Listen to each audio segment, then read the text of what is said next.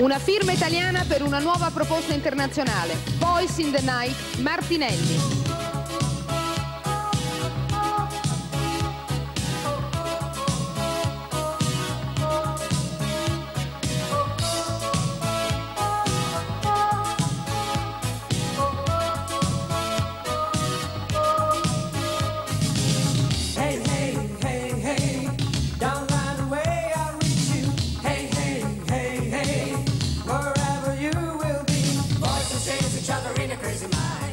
child in on the school playground.